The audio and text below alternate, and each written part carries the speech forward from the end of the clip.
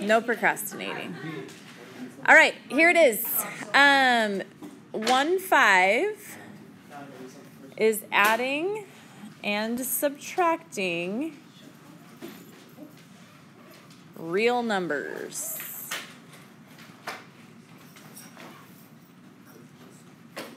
Adding and subtracting real numbers. Okay. Um, what we're gonna do with this, a lot of it is you're gonna look at it and go, I know how to do this, and that's fine. Um, but I want you to understand why we do it the way we do it. Okay. Um, so we are adding and subtracting real numbers. This should not be all new information to you. It should be mostly review information, I believe. Um, but we're going to start with a number line. So when we add real numbers, I'm going to show you what that looks like on a number line, and then we'll do it without a number line. So let's say I have 3 plus 5, okay? And I know that you look at that and you go, duh, it's 8. That's great, okay? But I want you to understand why it's eight so that when we get into negatives and subtracting and all of that stuff, Michael, will you put that away? Um, I know, why are you, you don't need it right now. Okay, well, put it away. Um, I don't know what I was just saying. Anyway, we're going to do it on a number line. Um, so I want to show you how this works with a number line. So a number line is just going to be something like that when we do adding on a number line, your first number is always where you're going to start. Okay, so this number here is your starting point on the number line. So on your number line, you're going to put a little hash mark and a 3.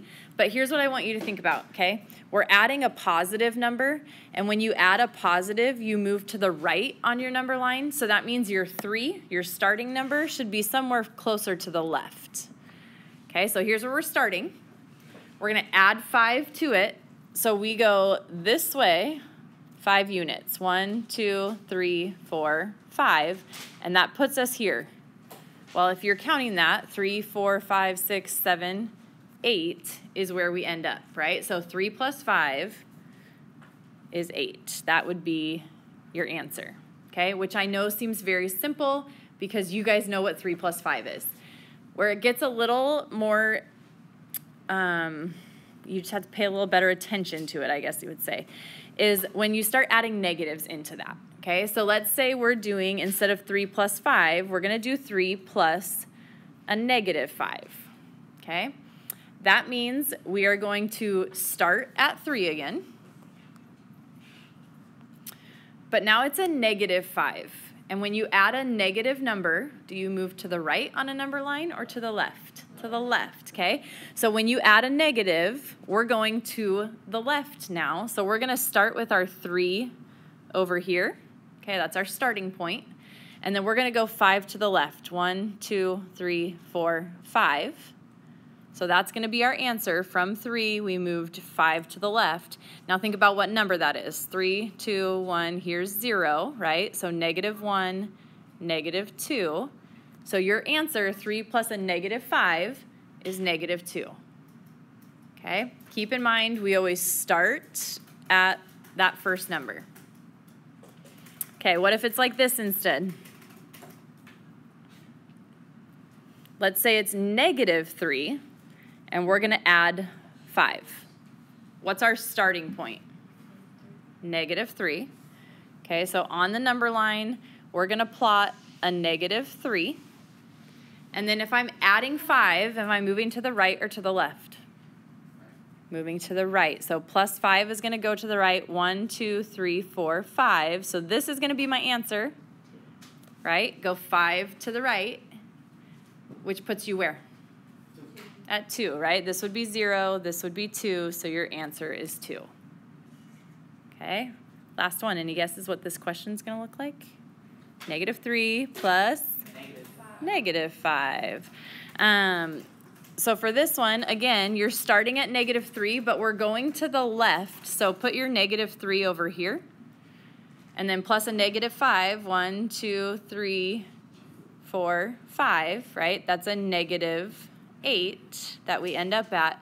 So negative 3 plus a negative 5 is a negative 8. Okay? Yes, ma'am. And if the question is like, um, like negative three minus negative five, don't you change it to like plus? Plus a positive. Yep. We'll get there in just a little bit. Okay.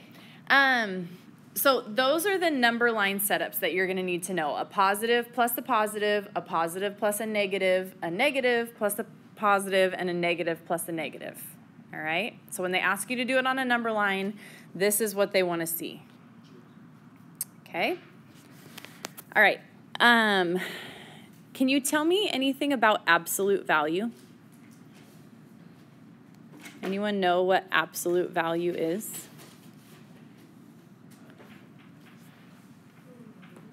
Anyone know what symbol is attached with absolute value? Micah, you don't need your iPad right now. What's the symbol that we use for absolute value? Do you know? I'm guessing you've seen absolute value before. It's two bars, right? So if I talk about the absolute value of negative 3, it would look like that, okay? Absolute value, what it does is it's always a distance from 0. Um, so distance from 0 on a number line. Okay, so think about a number line. Here's 0. If I go to negative 3 or I go to positive 3, my distance here is 3 units. Yes, I'm at a negative 3, but the distance away, it's 3 units away. Okay? Um, so if I go this way, how many units am I away that way? 3. Okay, so the absolute value is always a positive number. It's always just how far away are you? I can't be negative 3 away. I'm going to be 3 units away. So when we say what's the absolute value of negative 4, what's your answer? 4. What if I said what's the absolute value of 7? What's your answer? 7, okay? So it always becomes the positive. Okay, um, with that, that's what leads us into how you add um, different sets of numbers. Okay, so if we are adding numbers with the same sign, so they're both positive or they're both negative. Okay, adding numbers with the same sign, there's a rule that goes along with it. When you're adding numbers with the same sign, all you do is you add the absolute value and then you keep the sign that you started with. Okay, so you're going to add their absolute values.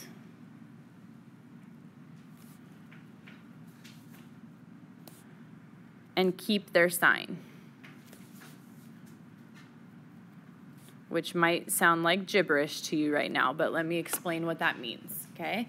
If I have something like 3 plus 4, okay?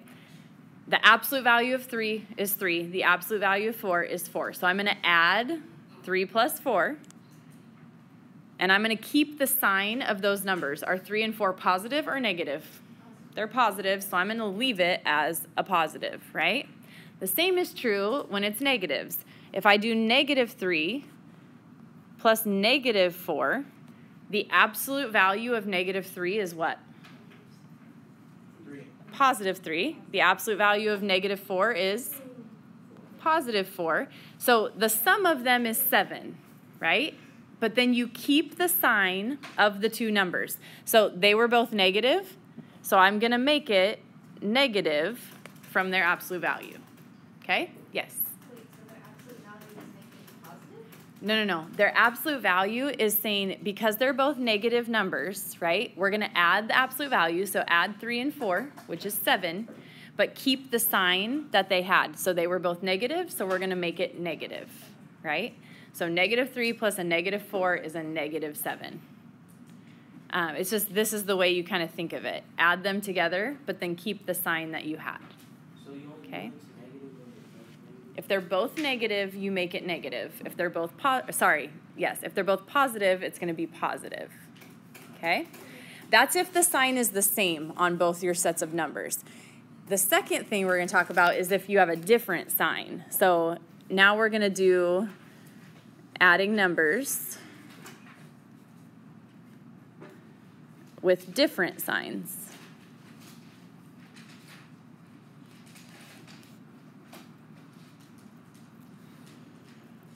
Okay, and this one's different. If you're adding numbers that have different signs, now instead of adding their absolute value, you actually subtract their absolute values. Okay, so we're going to subtract their absolute values.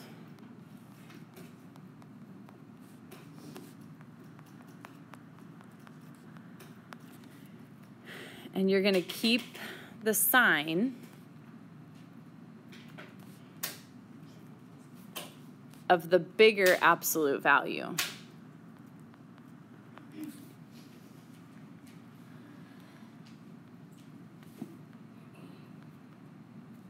Okay, subtract their absolute values, but keep the sign of the bigger absolute value. So here's how it goes. If they have different signs, so let's say we have 3 plus a negative 4. So one is positive, one is negative. God bless you. What you actually do is this problem. You take the absolute values and you subtract them, right? 4 minus 3 is 1. I need to know what sign I put in front of that one. So you look at your two numbers. We had 3 and we had negative 4. Which one's the bigger absolute value? The negative 4 is the bigger absolute value, right? When it becomes positive, 4 would be bigger. So that one was negative. So our answer is negative. It's just if the number behind the negative is bigger than the number. Yes. Yep. Yeah. What if it's a negative, it's automatically less than? If it's a negative, it's automatically less than what? Than whatever number you compare. A negative, it is the negative numbers bigger. I'm saying the absolute value of that number. So if we made it positive, 4 is bigger than 3, right? So we want to take the sign that's with the 4. And in this case, that's a negative number. Okay? I'll show you again. Um, okay, so like this. If I said negative 3 plus 4, okay? One is positive, one is negative, so we subtract them, right? If they have different signs, we subtract. So 4 minus 3 is 1. Is that going to be a positive one or a negative one? Positive, because our bigger absolute value, right? This is 3 as an absolute value, this is 4 as an absolute value, this one's bigger. Our bigger absolute value was positive, so my answer is positive. Okay? Okay, we're going to do a few of those. So this is example two.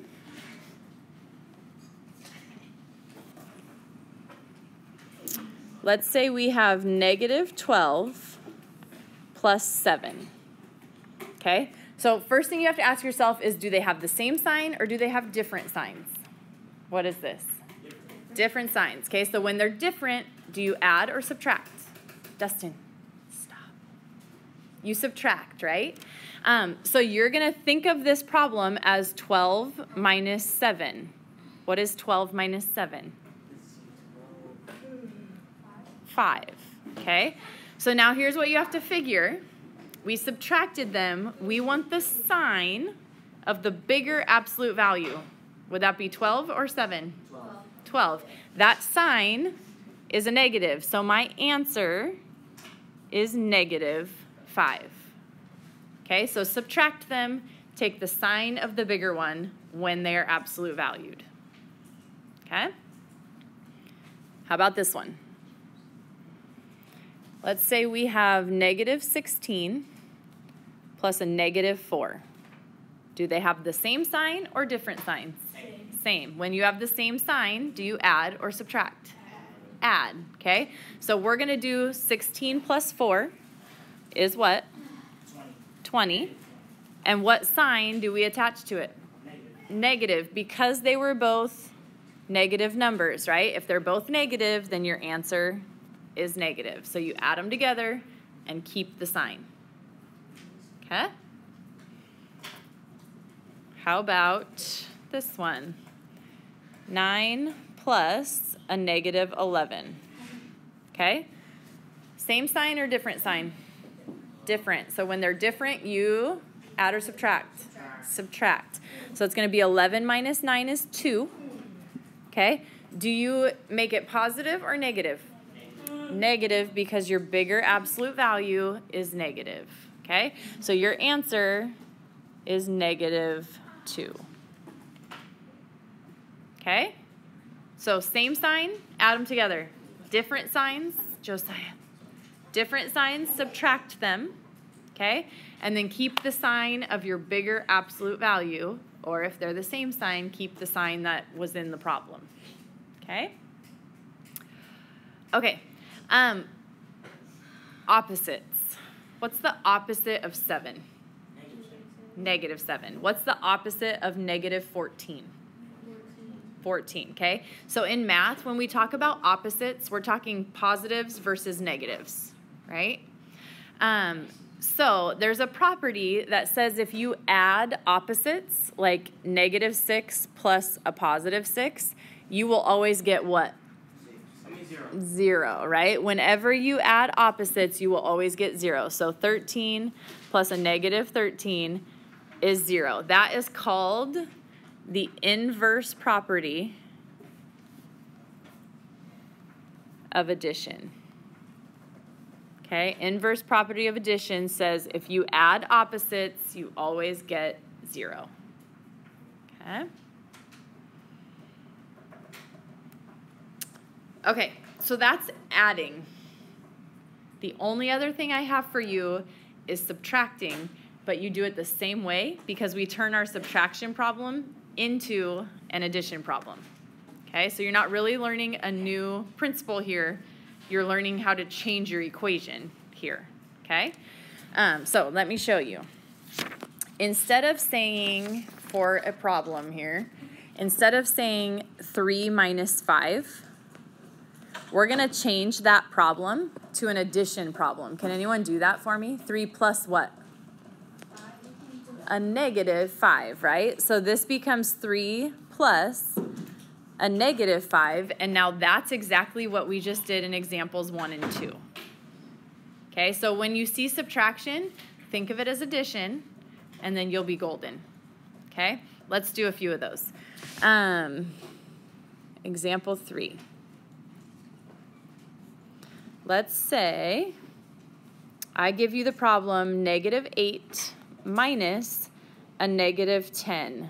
And I don't remember who said this, but someone said it earlier. When you subtract a negative, isn't it the same as adding a positive? This is where that happens, right? To turn this into an addition problem, minus a negative is plus a positive. So our problem that we're solving is negative 8 plus 10. Okay? Do I add or subtract those numbers? When they're opposites, you subtract them, right? So you would do 10 minus 8 is 2. What sign do I give that to? Is it positive or negative? It's positive because my bigger absolute value was positive, right? The 10 was positive. So this is a positive 2. So negative 8 minus a negative 10 is 2. Okay? So which number do you make a positive? Uh, like here, you mean? Yeah. So it was minus a negative 10, so we made it plus a positive 10, because minus a negative is the same as plus a positive. Is that what you're asking me? Yeah, but how come you didn't do Um, right. Okay. Because we're not subtracting the negative 8. It's negative 8 minus something. So when you subtract something, minus a negative is what becomes plus a positive. So it's never going to be that first one that you change the sign on. It's the one that comes after that. Okay? Um, okay, how about this? How do you do 2.6 minus 8.5? Okay, if I want to turn that into an addition problem, what would it look like? So minus a positive, right?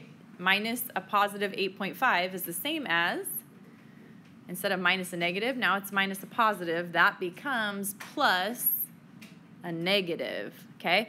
So right now it's minus a positive. We're going to turn it into 2.6 plus a negative 8.5. Okay? So look at your signs. One is positive, one is negative. Do we add them or subtract them?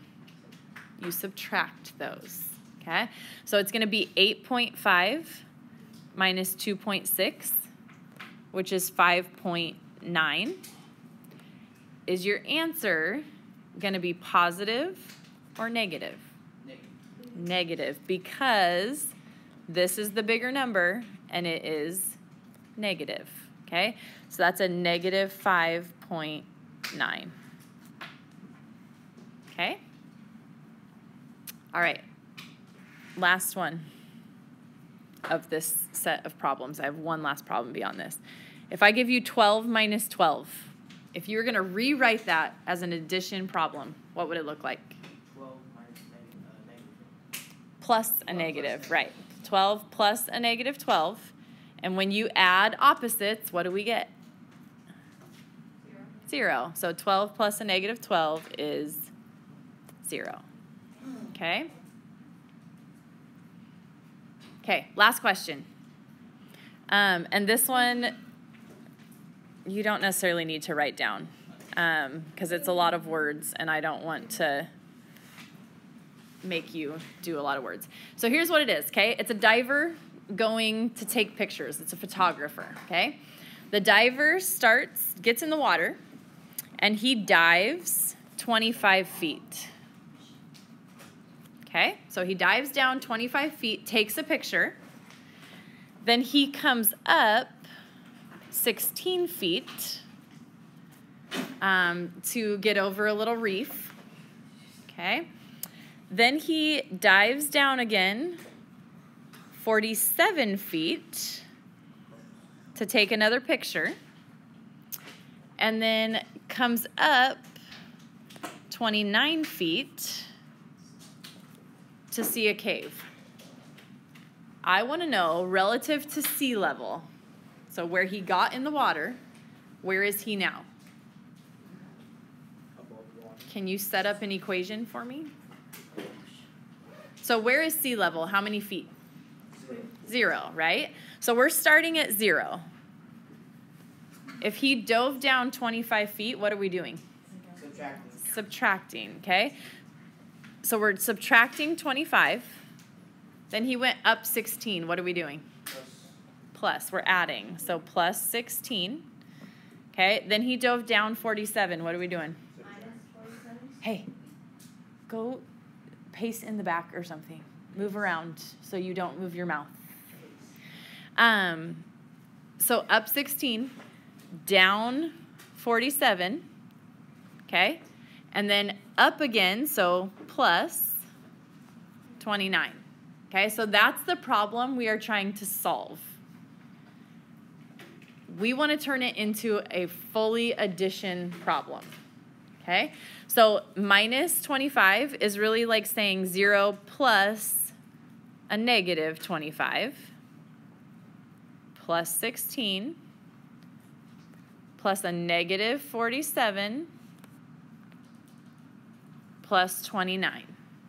Okay, so we turned all our minuses into plus a negatives, right? Okay, from here, it's easiest. Remember all the properties we did? Commutative, associative, all that? We're to use those properties right now. So when you add, you can add in any order and you still get the same thing. So I'm to put my negatives together and I'm to put my positives together. Okay, so we can move it so that it's 0 plus, and then I'm to do my positive numbers 16 plus 29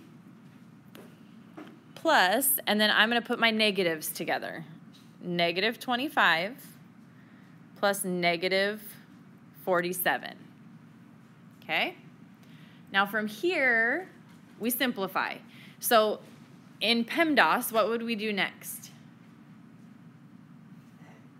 add what? Uh, sixteen and. 16 and 29. So it's going to be 0 plus, this would be 45. And then add your negatives. What's negative 25 plus negative 47? Do you add those or subtract those? When they have the same sign, you add them, right? So 25 and 47 gives you 72. And the sign is negative, so we're going to keep it negative. Okay, so it's 0 plus 45 plus a negative 72. What's 0 plus 45? 45 plus negative 72. Do you add or subtract those? Subtract them.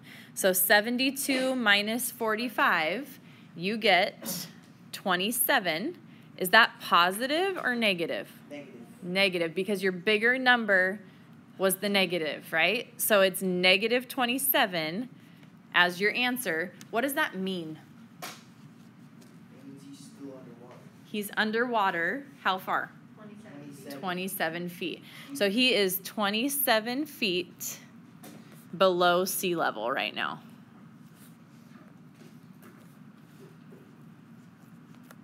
Okay, so a negative 27 represents 27 feet underwater. Okay, questions on that? All right, that is it. Um, you are welcome to use your calculators on this stuff as a check. I want you to try it without your calculator and then plug it into your calculator to check your answer. But I want you to try it without, okay? Um, because I want you to understand the concept. Good?